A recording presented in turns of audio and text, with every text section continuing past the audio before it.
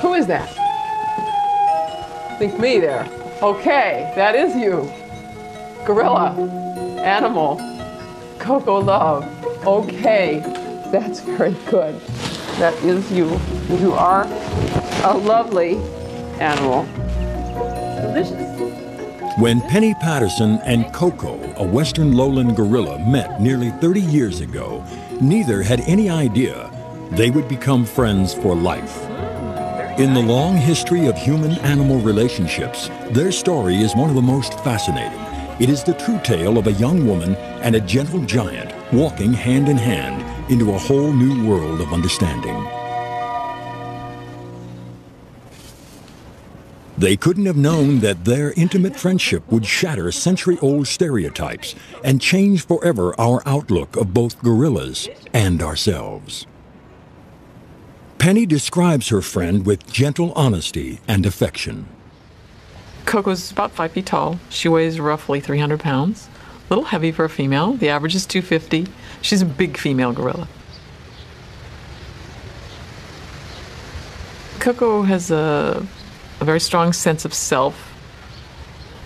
She um, feels she's important. She's got a strong ego. She's playful. Very can be very silly. A quick, a quick spin. A quick, a really quick spin, and then once you're good and dizzy, send you off. She's got a good sense of humor. Oh no! A monster! A monster coming to get the alligator! she can be very stubborn, uh, very willful. Finished. You are not finished. You are not. You are not finished. You didn't do the work I asked. Please pick those up. Koko, you are very good at that. Please pick them up. Come on. Their relationship is like no other. Penny and Koko are the first human and gorilla to share a common language. Penny taught Koko to speak sign language. Play with them after you help. Okay? No, no, not fake. No. What? Their exchanges, their conversations were enchanting and quickly revealed the power language has to build a bridge between our species. Then you go and you bring those papers. You did. He was visiting you. Um, when I look into Koko's eyes, and other people have said this, that they're they're changed forever. That there's an exchange of intellect and emotion that that we get with another person. Koko's looking, peering into your eyes and questioning you and asking you and getting information from you, drawing you out. She can do that because she has sign language. By teaching Koko a language humans can understand, Penny armed Koko with a powerful tool that allowed her to speak as an ambassador on behalf of her endangered species. Astonishingly, Koko is willing to provide us a window into her life, her mind, and her heart. Who could have imagined that a gorilla could fall in love with a kitten, search for a mate, and yearn to be a mother? She has challenged us to acknowledge that we share this world with other intelligent animals. There is very little difference. Genetically, it's what, 2%, something like that. When I tell people that we have the same number of hairs per square inch as great apes, they go, no, that's impossible. Or that we have the same blood types. Oh, come on. You know, that's not right. But it's all true.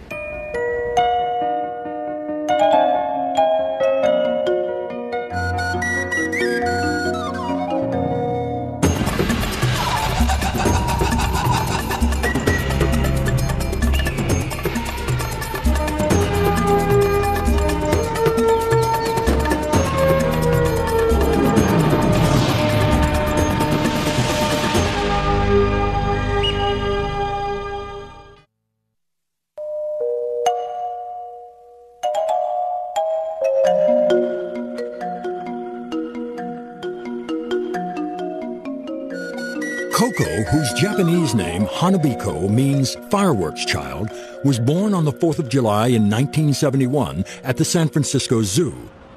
Koko's first few months of life were not easy. She became very ill and had to be cared for in the zoo's nursery. As Koko grew stronger, Penny considered a revolutionary idea. The young doctoral student in the psychology department at Stanford University wanted to work with Koko. She proposed that a gorilla could learn to speak with humans using sign language. My initial expectation was that I would work with her about four years and then I would get my degree and move on after the first few evenings trying to leave her, I couldn't. I couldn't put her down. So I ended up staying with her until she was asleep. Koko won me over right away. Within a few weeks of working with her, I could never really want to separate from her. You'd have to pull us apart. Dr. Ron Cohn has been the cameraman behind the scenes for nearly 30 years. He helped Penny raise Koko while doing postdoctoral work at Stanford. All the while, he's kept his cameras rolling. His tireless work behind the lens documents the incredible journey of a gorilla growing up in a human family and learning to talk.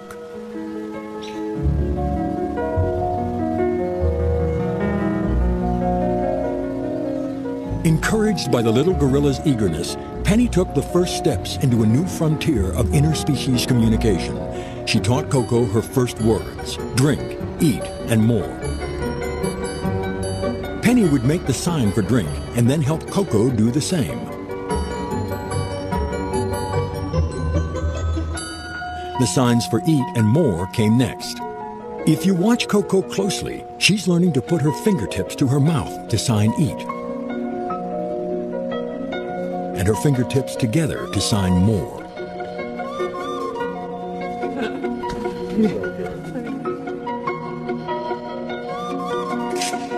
At first, I think it was almost like, oh, if I do this, then they give me stuff. That was what she got out of it initially. Learning vocabulary was a beginning, but in order to have a conversation, Koko had to learn how to use her new language. Koko proved an adept student Everyone was amazed at how well the little gorilla was catching on. I think within two weeks, Koko was using sign language. I couldn't believe it. Over the next months and years, Koko's vocabulary grew to over 200 signs. Koko was making unprecedented strides and national news. Penny was happy to report the little five year old could not only talk, but was redefining our concept of gorilla intelligence. Koko has performed consistently at a level um, about a year behind a, a, child her age. So that she, when you calculate an IQ, which is a ratio, comes out about 85, and 100 is normal, quote, normal. what I didn't know then was that gorillas already have their own gestural system that, that I was just building on or discovering, you know, depending on the way you looked at it. Only recently, Penny and an associate, Joanne Tanner, discovered that gorillas use a system of gestures to communicate. Joanne has identified dozens of signs as part of their natural gestural language. The discovery of this innate gorilla ability helped explain Koko's remarkable affinity for a human sign language.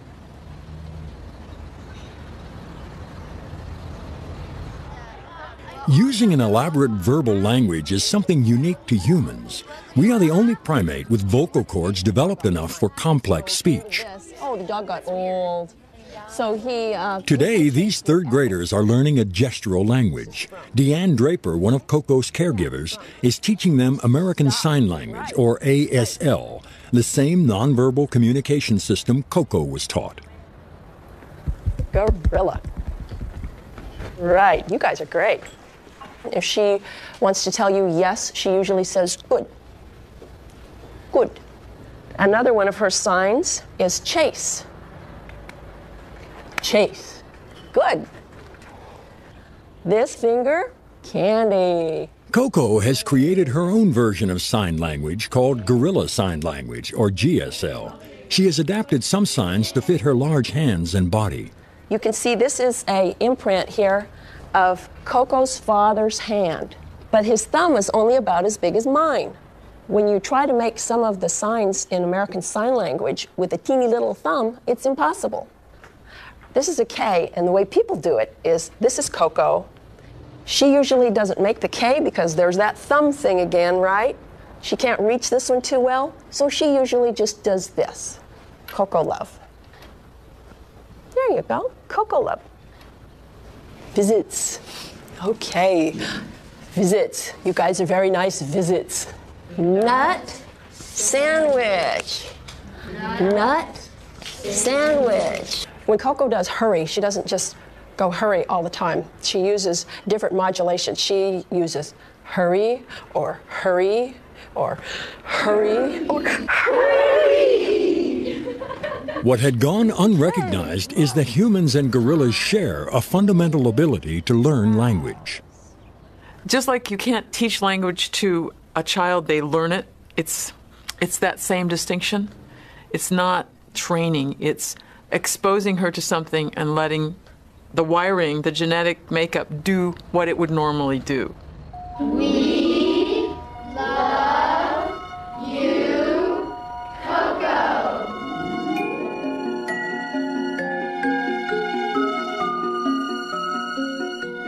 One day in September 1976, Penny told Koko a surprise was on the way. A baby gorilla was joining the family. Penny and Ron had heard of a young male named Michael who needed a home. They jumped at the opportunity to add him to the family. The goal was to provide not only a companion for Koko, but also a potential future mate. When we first got Michael, I remember opening the cage because I wasn't afraid of gorillas and letting him out. And, you know, he ran right to me and hugged me and sunk his teeth into my shoulder. You know, since then, he was very good with me. When Michael and Koko met, Koko was disappointed. She signed wrong, old. She'd been told he was a baby.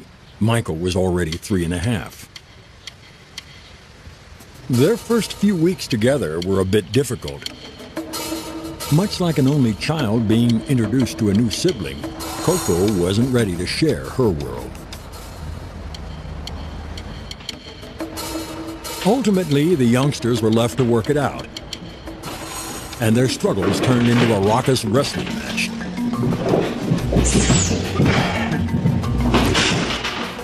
They eventually settled into a comfortable relationship. When Michael wasn't pestering Koko, they often engaged in a playful game Koko called Quiet Chase, hide and seek.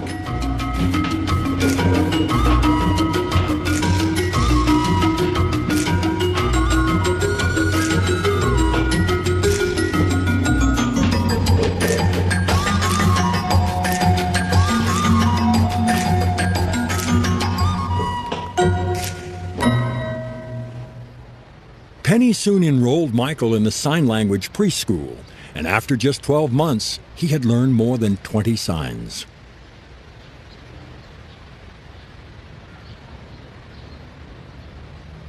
Here, here, Mike, Over the next three years, Koko and Michael doubled in size, and Penny knew it was time for a more spacious and permanent home. In 1979, Penny and Ron moved their gorilla family from Stanford University into the nearby Santa Cruz Mountains.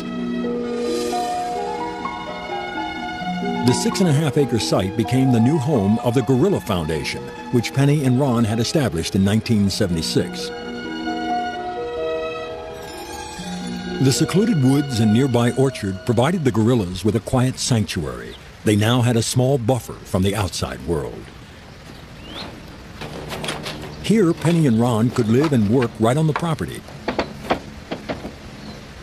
And there was plenty of room for spacious play yards to be built for Koko and Michael.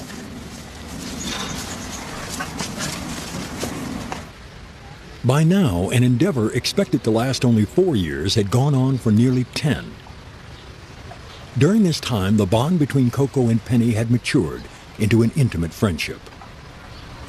Observing their interactions reveals a relationship based on respect, trust, and love.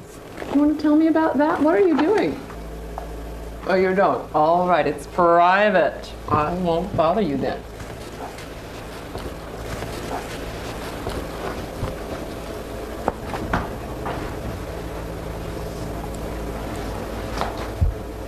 You paint how you feel?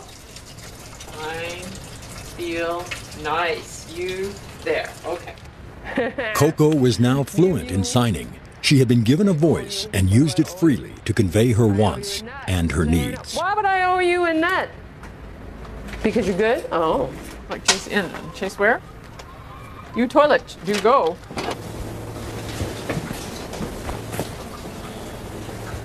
Do you sleep?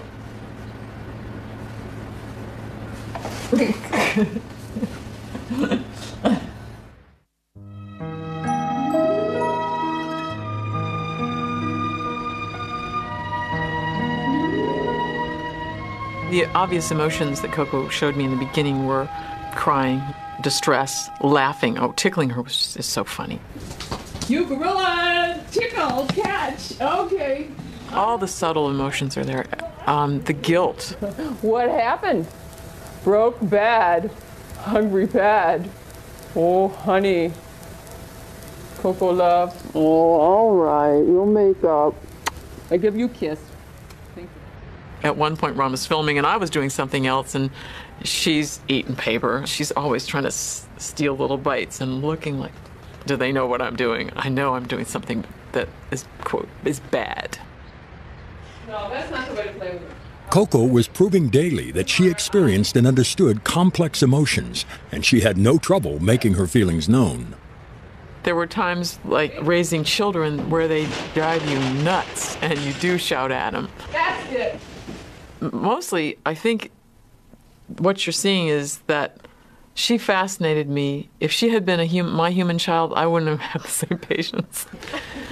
Not to say that it wasn't frustrating at times, but that it was tempered by this this just fascination. What are we doing?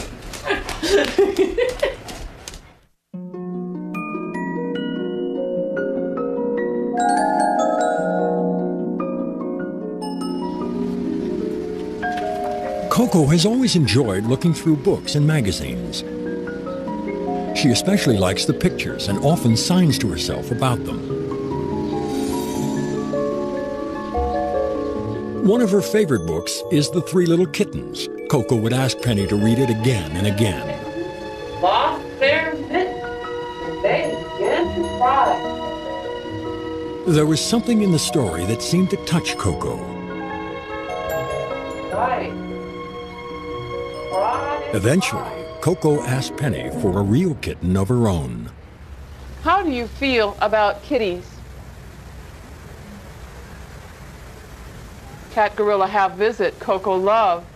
Good. So Penny did what her friend asked and found a tiny baby cat for the 300 pound gorilla. The story of Koko's relationship with her first kitten became an unexpected means for us to understand the depth of gorilla emotion. When this photograph taken by Ron made the cover of National Geographic magazine, and when the book and video about Koko's kitten were shared with millions, the world was able to see gorillas in a whole new light. Koko has impacted people um, in a sort of at a mass level because of that image. The reason that it's so it stands out in people's memories is because there's an emotional surprise there. There's a giant gorilla with a tiny, tiny, tiny helpless kitten and being gentle and loving toward that kitten. Koko rhymed a name for her new kitten. She called him All Ball because to her the cat looked like a little ball. Koko adored All Ball and they spent countless hours playing together. And yet, it was by loving the little tailless kitten that Koko learned one of life's hardest lessons. One evening, All Ball was tragically killed on a nearby logging road. Koko was heartbroken. Koko, Alvo was hit by a car. I went in right away and I said, Koko, something's happened to your kitty and he won't be here anymore. You know, he's, he's the, cat, the cat has died.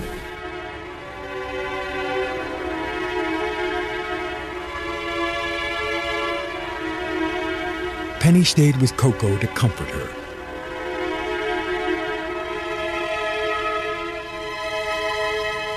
and later privately, Koko expressed her grief.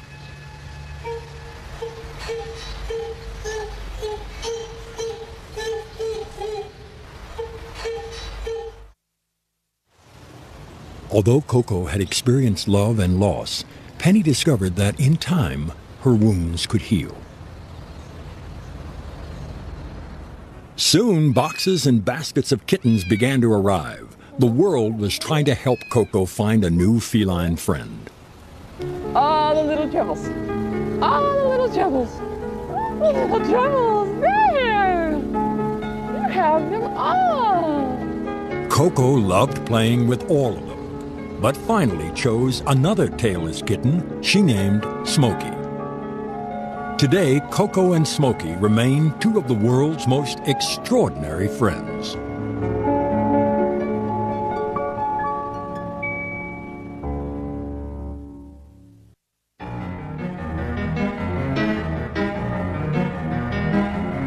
Over the years, Koko has become world famous. At the tender age of three, she was featured on Nova for her unique ability to communicate. At five, she appeared on the cover of the New York Times Magazine. Koko made headlines year after year from Ms. Magazine to Life. When Koko was six, French filmmaker Barbet Schroeder made a film about her life entitled Koko, a Talking Gorilla. At seven, she took her own portrait for the cover of National Geographic. Time magazine chose one of Ron's photos of Koko as a picture of the year. In the 90s, Koko remains a media mogul her journal, Gorilla, is distributed worldwide. Membership to the Gorilla Foundation is growing.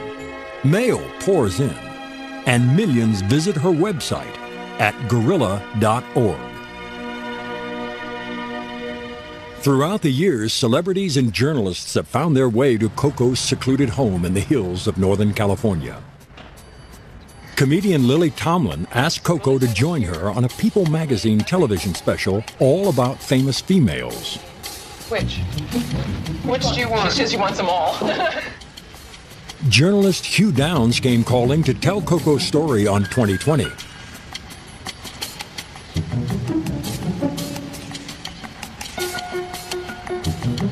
Koko also assisted Star Trek's William Shatner in his campaign on behalf of endangered species. How are you feeling, Koko? Fred Rogers, the host of one of Koko's favorite TV shows, PBS's Mr. Rogers' Neighborhood, paid her a visit. He has shared Koko's story with millions. Thank you. Want to see that? Really? Well, okay. Put them on the other way. On occasion, special friends drop by and Koko indulges her audience with a little showing off. Hey, that's cool.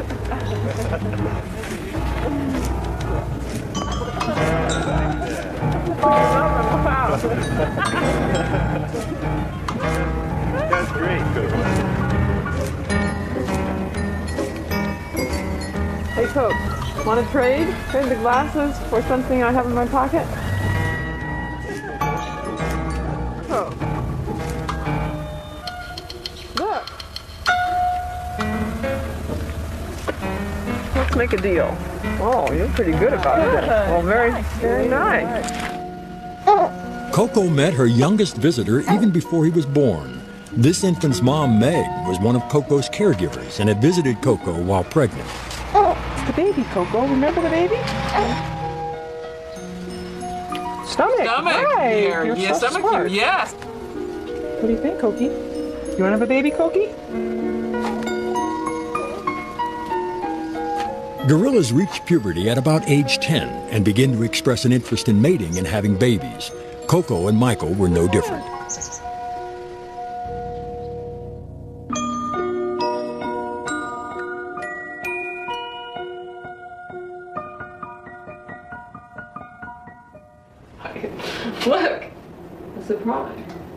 Without other gorilla role models, it was up to Penny to help Koko understand gorilla reproduction.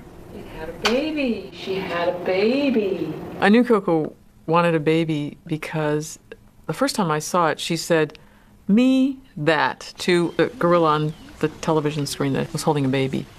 very definitely pointing to the baby in the picture.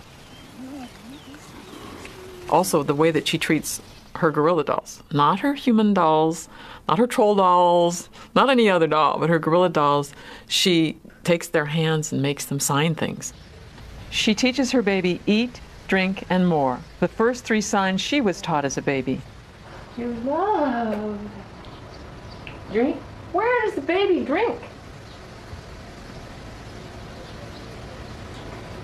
Drink. The baby signed she's got to mouth. Drink mouth. She's had the baby answer. The baby said drink. Most important, a baby would make Koko happy.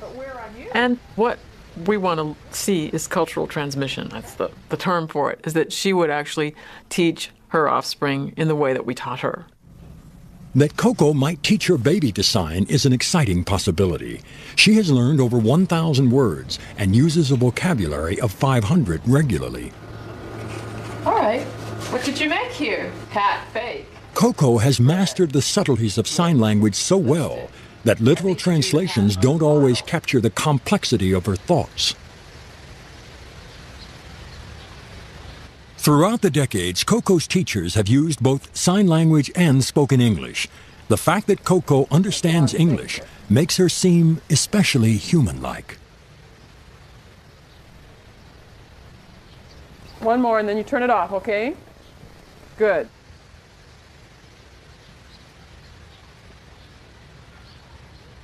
Let me see your tongue. Tongue looks fine. Okay.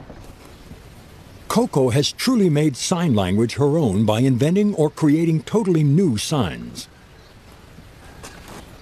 Dina, the Foundation's lead caregiver, converses with Koko on a daily basis. We say things in English, and if we don't give her a sign for it, she has no way of telling us that that's what she wants. Browse is like the lettuce and greens that we give her between meals. And we didn't have a sign for it. And Koko started doing this. And at first, people didn't know what it was. And eventually, it became clear that she was asking for brows, and it's at the eyebrow. So she was using the sound to come up with a sign brows. Koko, like any of us, can be frustrated when others don't understand what she's trying to say. I don't understand. Oh, sorry. It's bad that I don't understand. I'm a little dense, honey. Shame. It's a shame that I don't understand what you're trying to tell me.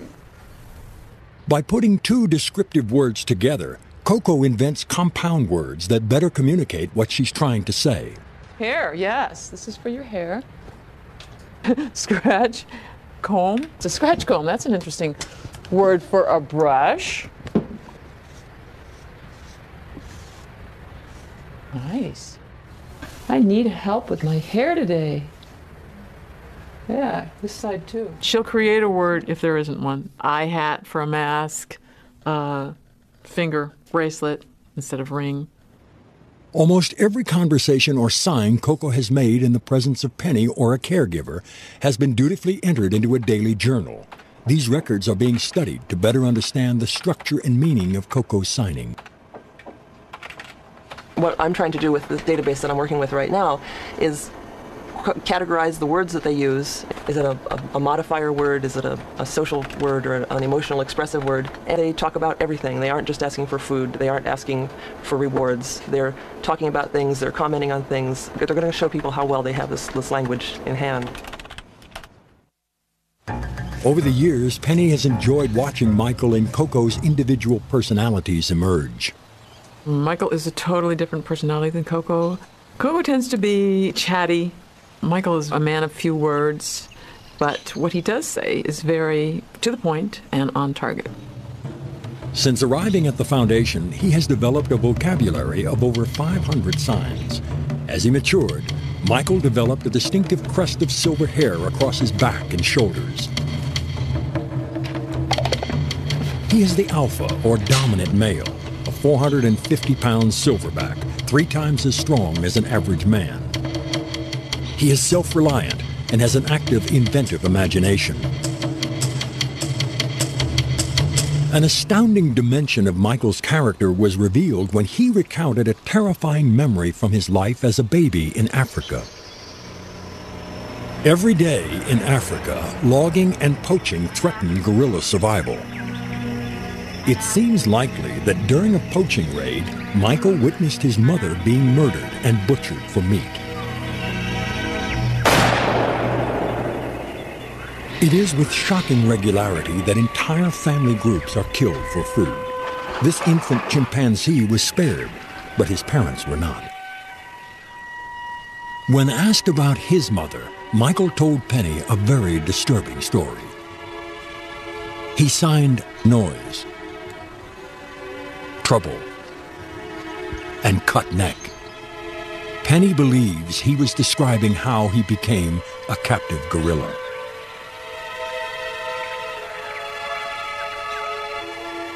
The Gorilla Foundation hopes that by sharing Michael's story, and by raising awareness about how thousands of great apes are hunted and killed each year, the tragedy that made Michael an orphan might stop.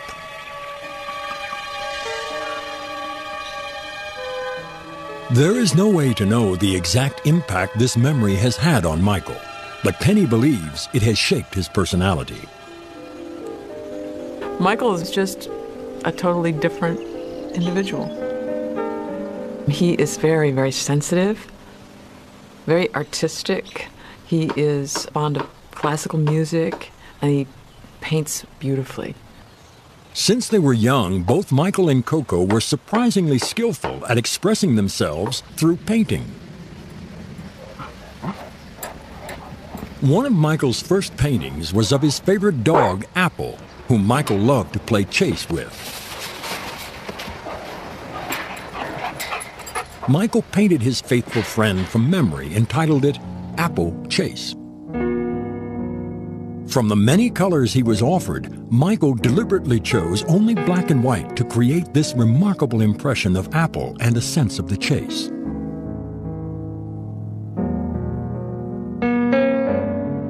Koko and Michael surprise the world with their artistic ability.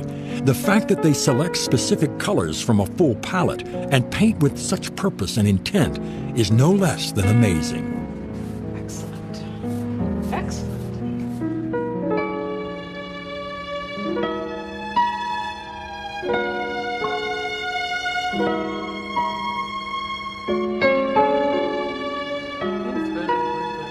When the gorilla's artwork goes on display, Penny and Ron decide which pieces to send to the gallery.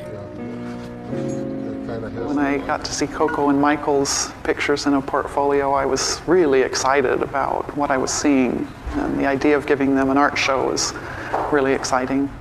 Michael's art is very emotional. It's full of color, it fills up the page, it has a lot of activity, a lot of action. Michael's paintings are often about how he feels. He paints his emotions with intensity. And his still lifes with surprising finesse.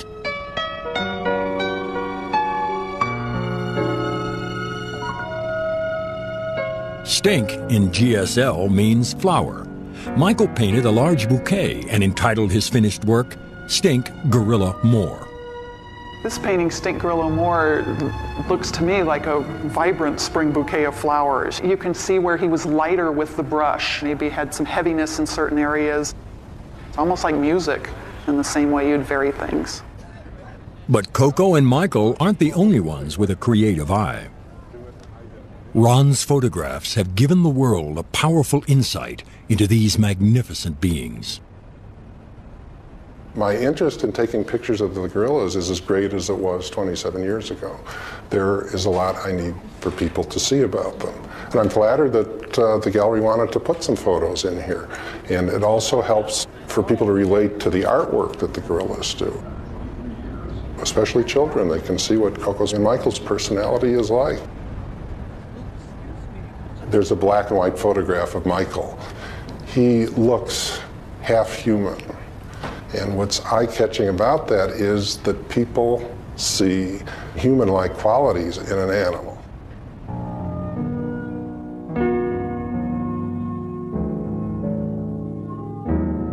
Michael's life story is a compelling one. Since his arrival at the Foundation as a toddler, he has offered Koko companionship. But the question remains As an adult, will he become her mate?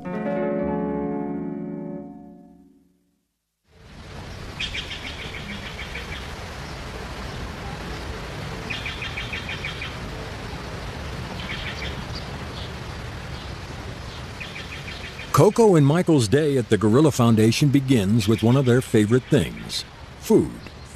Deanne, one of the gorilla's caregivers, arrives each morning with boxes of fresh organic fruit and vegetables donated from a nearby market. A delicious breakfast, lunch, dinner, and several snacks are specially prepared to include lots of the gorilla's personal favorites. Uh, we consider, and the gorillas consider, their food to be the highlight of their day. This is the most important thing to them. She has her favorites. She loves green beans and corn, Brussels sprouts, a few things like that.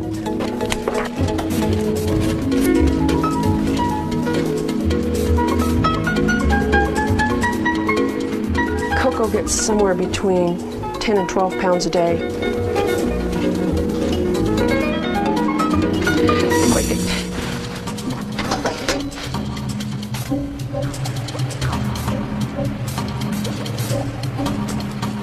So, we're done. Gorillas sleep about 12 to 14 hours a night, and by 8.30, Ron and Penny personally deliver breakfast with a morning wake-up call. Hello, cutie pie, where are you? Okay, little moon and joy.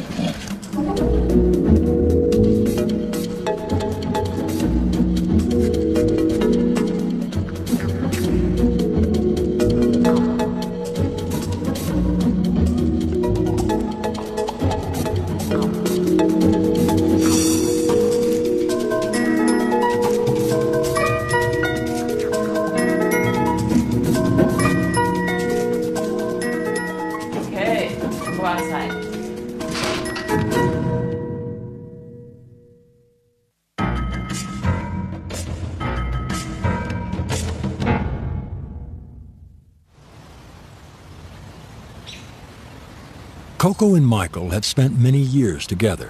They have developed a strong friendship, but Koko doesn't seem interested in mating. Penny has discovered why. At that time, we didn't understand that when gorillas are raised together, there is a taboo against mating, just as there is with humans. Koko considered Michael her kid brother. The two had developed a sibling bond, not a mating bond. Koko continued to express her powerful instinct to be a mother. She yearned for a baby of her own. Koko, would you like to, um... So Penny took on the role of matchmaker and went in search of a boyfriend for Koko. Do you know how to do that? With so few males accessible, the search narrowed rapidly. Penny collected videotape of the available bachelors, and Koko oh. began an unprecedented journey into the world of video dating. Okay, you watch the gorilla. Do you like his looks? When Koko was looking at the videos to pick her potential mate, Koko love. It was a thumbs up, thumbs down reaction. Oops, she just turned the power on. There he is. If she liked the gorilla, she would kiss the screen. You kiss him. Do you like him? Good. You like him to visit? And she outright rejected others. Gorilla, no! then along came Ndume. Purr. Is that what you were telling me? Bring. Do you like Ndume on TV? Ndume, which means male in Swahili, was the 10 year old bachelor who caught Koko's eye. Oh my goodness, a big kiss. Do you like Ndume in person? Do you like him to visit?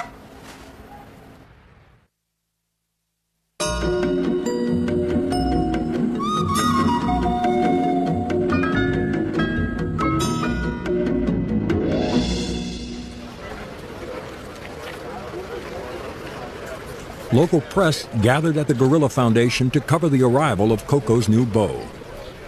Penny had successfully relocated Ndume from the Cincinnati Zoo. As ever, Ron was documenting this important moment. Ndume's first steps into the play yard marked the beginning of his new life at the foundation. He had no idea he was joining the famous family of talking gorillas. Ndume's secret admirer waited in the wings while he settled in.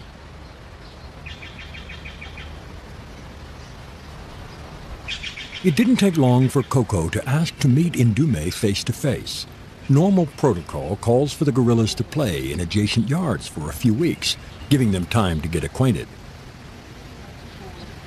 But Koko quickly confided in Penny that she wanted to meet Ndume now. Visit due there? Good. How do you know to go in there? Huh? How do you know? How do you know that? That's good. Koko, love. Hurry. Good. Hurry. Have nice. Oh, you're going to be nice? Koko love. Good. Okay. I'm going to be nice, huh? Penny honored her request and allowed Koko to enter in Ndume's yard right away. Oh, good. The question of whether they would get along would soon be answered. Would Ndume, half Koko's size and 10 years younger, be nervous on Koko's home turf?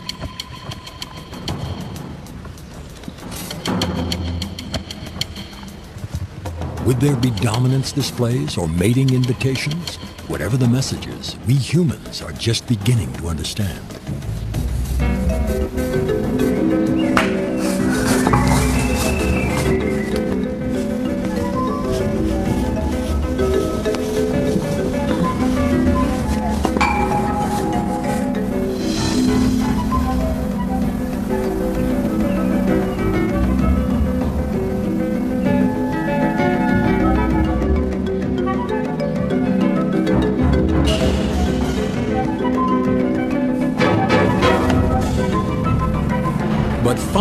From Koko, an invitation to play.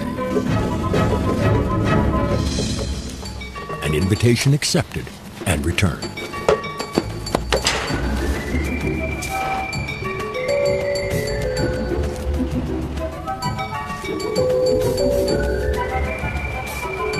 Penny watched as the days and weeks passed. Nature took its own course, and the relationship between Koko and Ndume began to grow.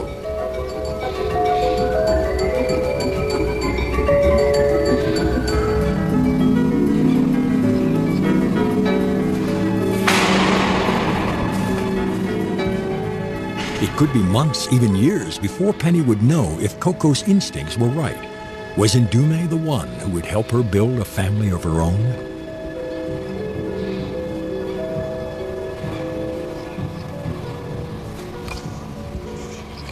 In an adjacent play yard with his typical independence and good humor, Michael adapted to the life of a bachelor. Over the next few years, Penny intensified her search for a female gorilla in need of a home, this time a mate for Michael. Meanwhile, the trio spent their days doing what gorillas enjoy most playing, relaxing, and eating.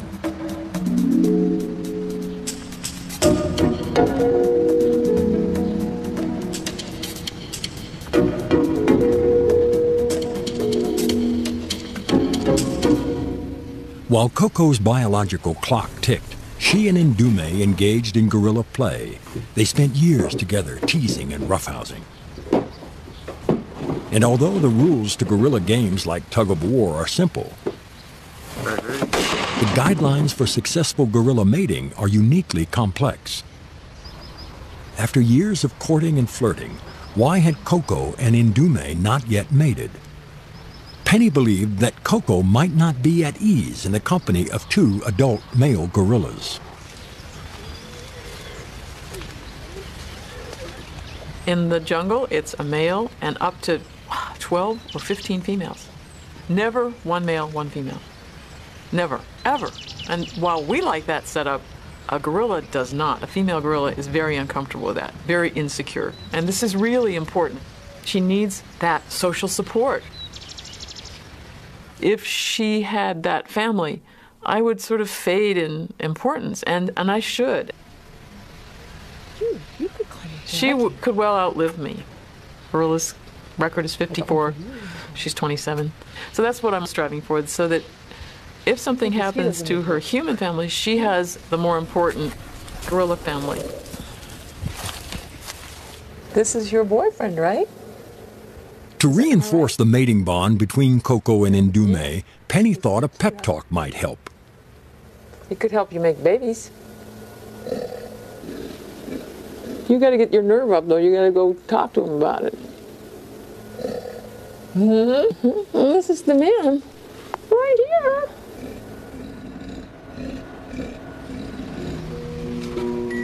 Without the support of a typical family group, Koko is less likely to conceive. It's been eight years since Ndume arrived, and still there is no baby. Koko had nothing to do with being born in a zoo. She had nothing to do with being made a subject of a, of a quote experiment. That wasn't her choice. And I want to do the best I can for her. So, and for Michael, and for Ndume, and for as many other gorillas as need a safe place, a sanctuary. In Hawaii, the Maui Land and Pineapple Company has donated 70 acres for a tropical preserve that will provide the gorillas with greater freedom. Penny hopes a nearby interpretive center will inspire visitors to conserve habitats for gorillas and for all the world's species.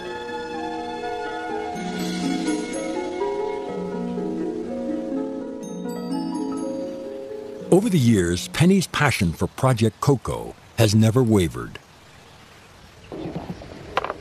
Their relationship is magic.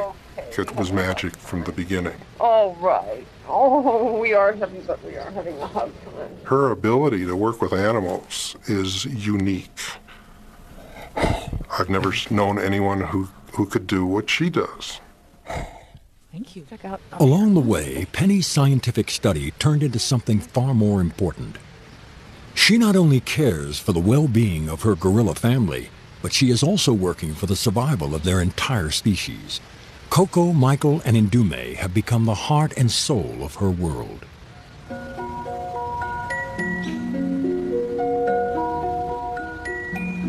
People ask, do you have any kids? And I say, no, I have three gorillas. They think that I'm insulting my children. But those, my children are gorillas, I'm sorry. and that's probably the way I would have written it if I had complete control over the outcome of my life. Koko's life with humans has afforded us an opportunity to look into the eyes of another animal and recognize our kinship. I think people conceptually find it uncomfortable, but when they see Koko, there's something different. And their conscious and subconscious have to work it out. They're us. We are the naked apes. We are apes. They are us. We are them. There is very little difference. It's just hard for us to accept because they look so different on the surface. But it's just a surface thing. It's, they're like us inside.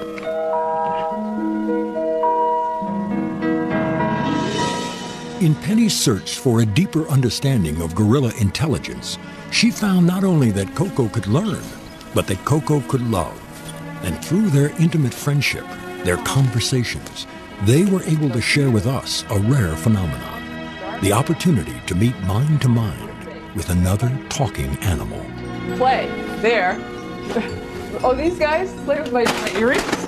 Those trouble earrings? Yes, because they As for Koko's future, there are still many chapters left unwritten.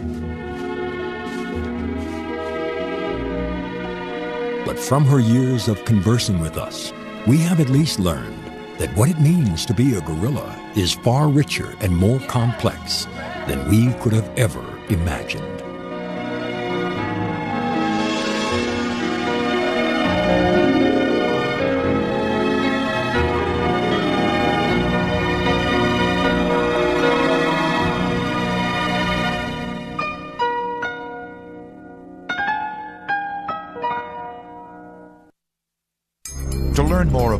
Seen on this nature program, visit PBS online at www.pbs.org.